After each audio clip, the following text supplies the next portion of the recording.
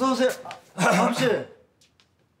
참 머슴처럼 몸 부서져라 잘도 일한다. 신나냐? 아버지가 이 시간에 어쩐 일이세요? 너한테 따지라 때놈아. 또 뭐를요? 야, 넌 애비를 그렇게 망신 주는 법이 어딨냐?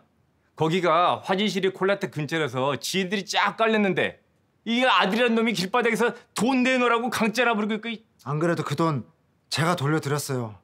그러니까 다신 그러지 마세요. 뭐 돌, 돌려줘? 아 이런 모질 같은 놈, 야 그 꽁돈을 왜 돌려줘?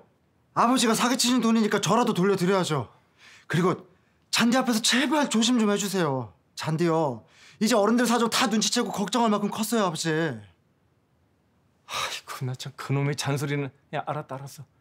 야그 반찬 좀 싸봐. 입맛 좀 당기는 걸로. 왜냐면 날이 슬슬 더워지니까는 기운도 없고 입맛도 없다.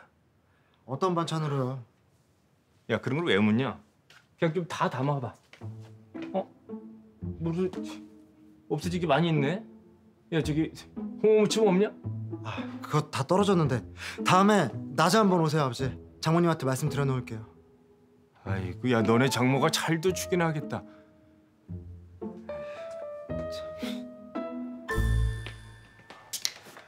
이거 경자 아줌마 갖다 드리세요.